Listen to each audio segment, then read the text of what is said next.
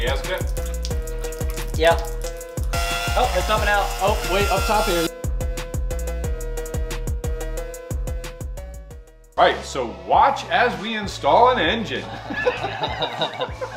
He was he was locked and loaded, waiting to say that. The second the light turned on the camera, he said it. So this week we're back on the Porsche 996 slant nose project. In a previous video, we pulled the engine out because there was an intermix issue with the oil and coolant. We had a lot of oil in our coolant system. It was just spilling out on the floor. We assumed the worst, but actually, we just need to replace an oil cooler. I would actually like to say that I did not assume the worst. He assumed the worst. That's true. I'm Yeah, usually the other end of that spectrum where I'm just like, ah, this is the best case scenario. And it actually was the best case scenario. It was. Anyway, we're gonna put the engine back in, get it running, we're gonna get this thing driving, we're gonna take it out for a spin. Maybe we'll actually align the car this time.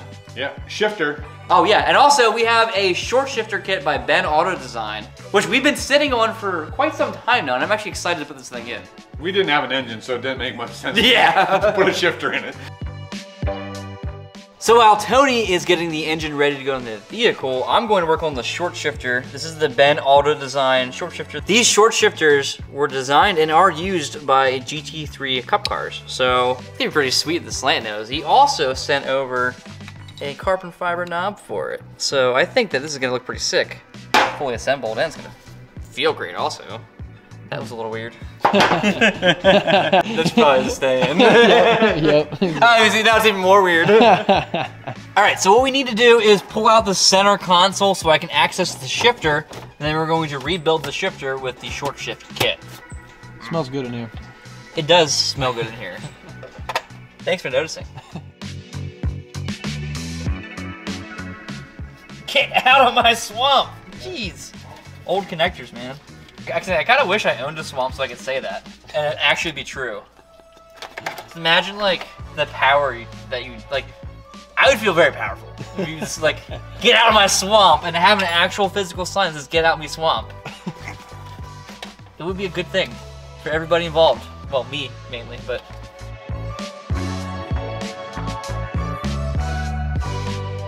So, you pull out two screws so you can get access to this panel. You remove this panel, and there's more screws holding it down. There's so many layers, like an ogre. And again, I really want a swamp. so this is how the shifter works on a 996. The engine's in the back, transmission's in the back. You have cables that run from the shifter to the transmission selector on the transmission itself. Now if I rock it side to side, this cable's actuated. And if I push it forward and back, this one's actuated. So what I'm going to do here is I'm going to, I'm going to disconnect these cables unbolt this housing, pull it out, and then we're gonna go over to the bench we're gonna rebuild it with the sh short shift kit, slap it back in, and uh, hopefully it works right and I did it right.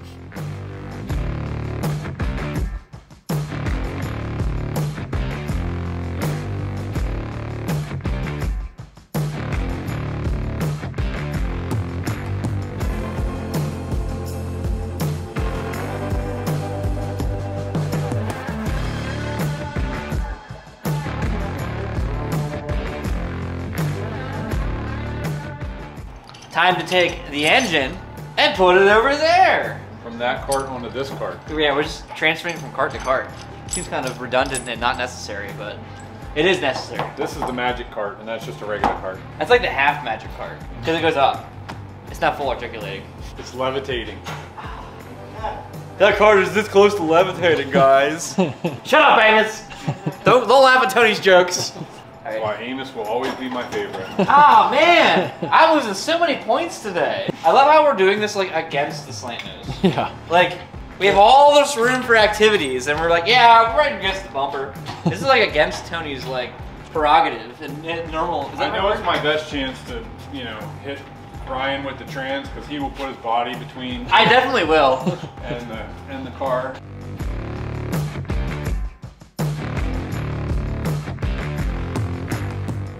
Oh my gosh! I was like, what? is that power steering fluid leaking out or what? No, that's coming out of the coolant system. Yep. That's why we're gonna do the other fun part of this video. Flush out the uh, coolant system with our All right. sweet rig we have. All right, hold on. When in doubt. Here we go. That's better. That's a good noise. that really does sound like my knees in the morning. I got my watch Tony do work drink. This gives me an extra D4 of health, so. So the issue that we were dealing with was an oil coolant intermix. We had lots of oil in the coolant and we were really fortunate in that the problem was oil cooler. A lot of the German manufacturers use these so oil goes in one side and out one side and then coolant the other way and then that just lets the coolant cool the oil.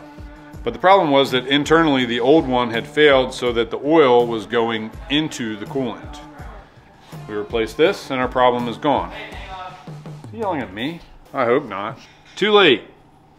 He, he wants to watch me work, that's the problem. yeah. and he's like, wait, he's working and I don't have my coffee yet. Yeah, I, oh, I gotta do my Tony impressions. Yeah. When Tony comes over to the body shop when I'm working on something, he comes in, he's like, hmm, that's not what we discussed. I was envisioning, like it's good, but I was envisioning a little bit more that way. Like I always say, like, it's good. Yeah. Right, He does yeah. the he does the like he's talking to his like kid thing where it's like, yeah, you did a really good job, buddy, but it sucks. but I'm not gonna say that.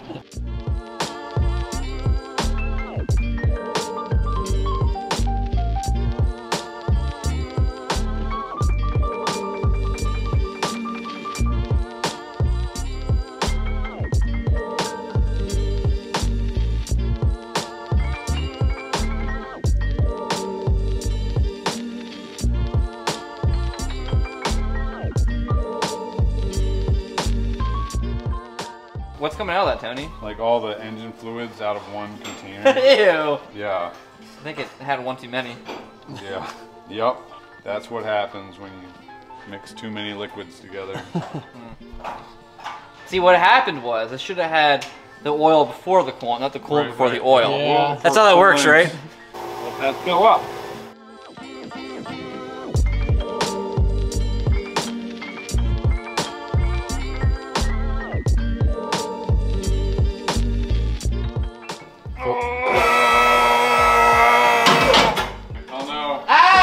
Ah! More force, more force. 3PO shut down the trash compactors on level 5! Whatever number it is. It doesn't Shut matter. down all the trash compactors on the detention level.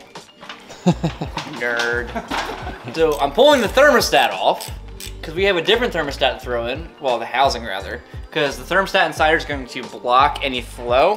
Once it's at temp, obviously. So we're throwing in a different thermostat housing that has no thermostat. And we have fittings to go to it so we can pump bilge cleaner through it, which will get rid of all the oil and other junk related from that intermixing problem. So I gotta pull the thermostat off. Pop it off. I think I have all the bolts. Is this gonna like rain on me? Probably is. Probably something gross. yeah. Oh my gosh, are we ready for some soup? It's like that like Reese's peanut butter uh, sauce you can put in like sundaes. Hopefully a neat, neat prank on your friends. you already know where I'm going with that. Pulled out, there's a thermostat. Here's the non-thermostat one. We're gonna slap in real quick. And uh, hook up the old bilge pump.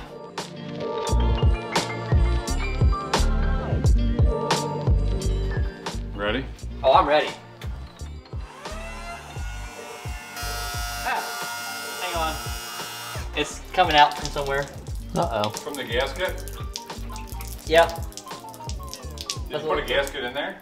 Yeah, I did. Okay. But it's the reused one. Yeah. Because that's now, what we had. um, it was fighting me going on. yeah. Oh, yep, there's the problem. what is it? The gasket did turn on itself at the top corner. That's why that bolt wouldn't go in. There you go. Get it to come out. Oh. Yeah. That'll do it. I've never done that before in my life. I'm just saying, like, I've done so many of these I mean, gaskets. if you were gonna do it, this would, I guess, be the time. we were reusing it, and I'm just gonna bend it back, mm-hmm. and it'll be fine for this scenario, right? you're a metal shaper. Just all right. That's tightened down. Now just gotta take care of your clamp. My clamp. Right. Yeah, the one you forgot. I think we both forgot about It's like your son, you know. Like, yeah. yeah. That's what your son did today. Yeah, exactly. the little pump that could.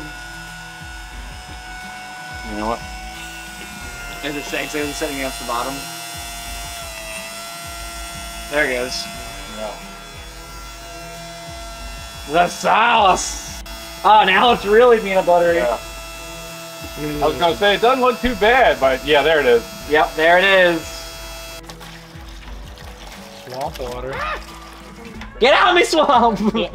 Yeah, that's gonna be the water for your new oh! for your new swamp. My new, my new swamp will not be uh, ecologically uh, no, friendly. friendly. No. Yeah, the EPA would not approve of my swamp.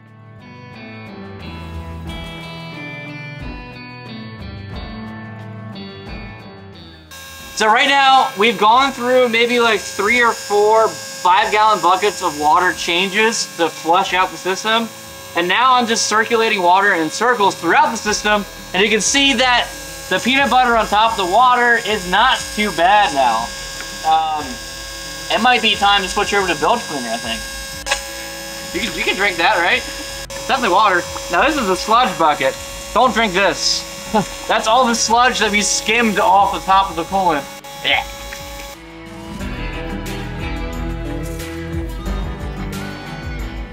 This 1988 911 Cabriolet has had a bit of a rough life, as you can see from the nice oxidized paint. Also, there was a, a hole burnt in the top, and it was sitting outside for a while, so the inside of the car is disgusting and moldy. And Amos has been working on it lately. Look at that interior. I gotta remove the seats, and they won't move because, well, electrical things don't like water, and they're rusty. I got the driver's seat out. I'm getting ready to cut through the top of the passenger seat here, so I can unbolt things. So. a crime scene. Yeah, things you don't want to do to an expensive car. Maybe you don't want to do. Well, you know, most people shouldn't do.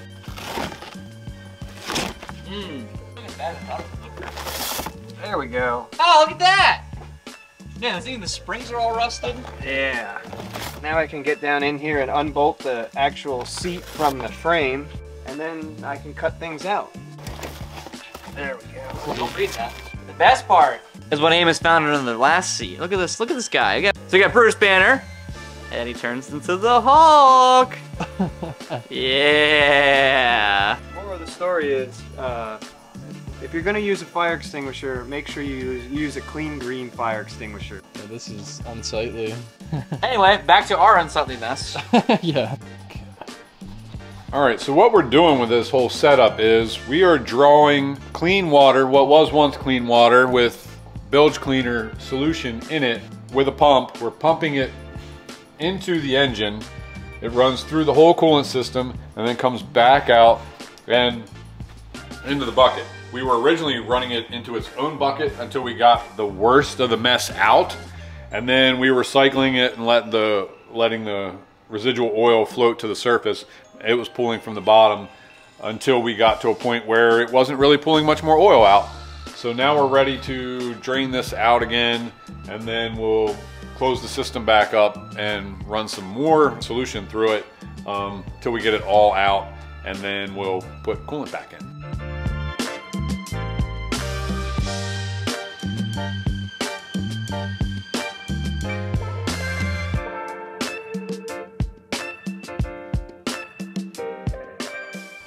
World's best oil.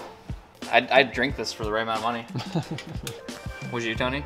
No, what is the amount of You, money you were gonna it drink the sludge earlier for fifty dollars, Well. but you wouldn't drink clean driven DT40. I was, well, it was driven DT40. It would. See, you prefer post process. Yeah. Like you want to like mama bird it to you from the from the slant nose, not, not not straight from the bottle. In case you're wondering how many bottles of oil it takes to uh, get a 911 roadworthy.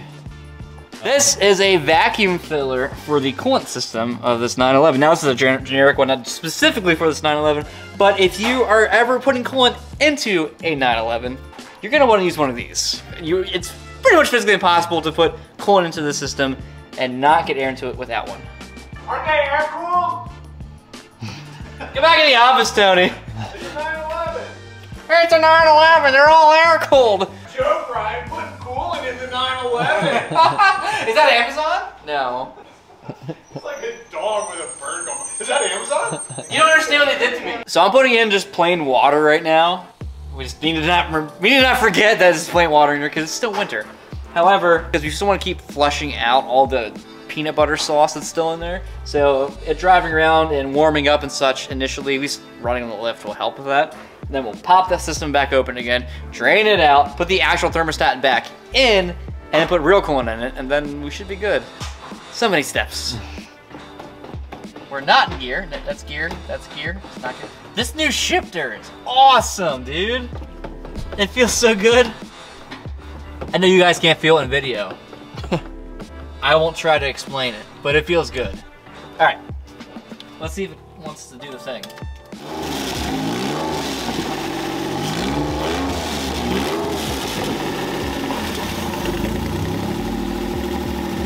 There's one issue. I think the throttle cable could drive by like the actual wire, not like electronic. I think that's routed wrong because the throttle body is on return the whole way. Yeah, there's a little gap right there. Little gap right there. It's supposed to be going to there. But it's not.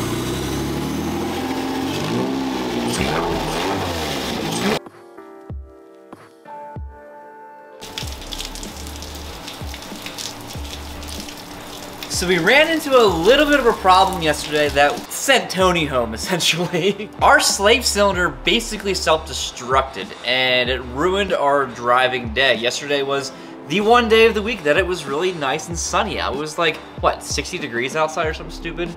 And now, it is raining and it is cold. But the new slave cylinder is here, which I was going to hold up just now, but it's not in my hands.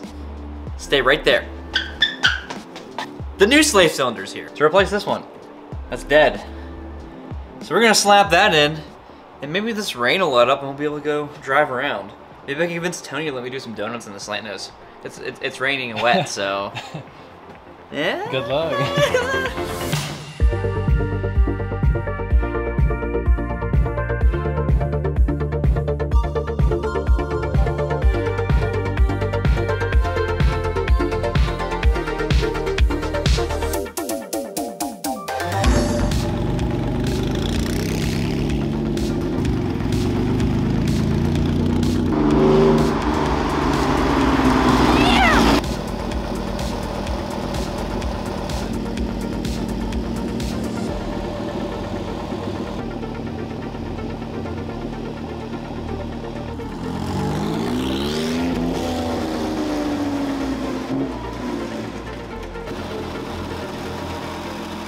Yep. I think we definitely need some uh, fender liners here. We're picking up the whole quarry back here. Sheesh. So I'm gonna pop the thermostat housing off here. Put the thermostat back in after draining the water bilge cleaner concoction. And we'll be good to go. Also, if you're new here, this exhaust is 100% temporary and we know it sounds terrible. We just wanted to make sure we could drive the car without burning up the, you know, any of the body work. Because eventually we will be fabricating a cool exhaust for this.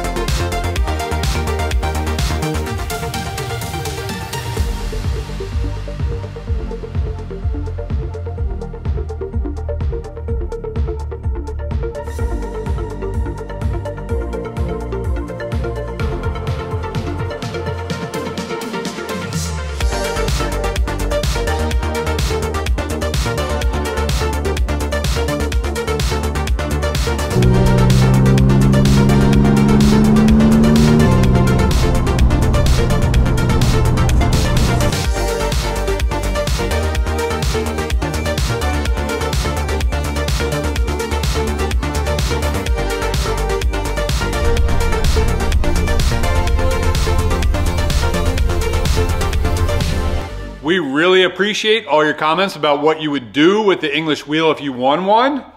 That English wheel. And we came up with a winner. Paul Edwards, thank you for commenting. And you are the lucky winner of, not this one, but the uh, still in a box mini English wheel from Eastwood. There were a lot of great comments. We picked it at random. Um, Paul, we hope you do great things with this tiny little wheel. No pressure.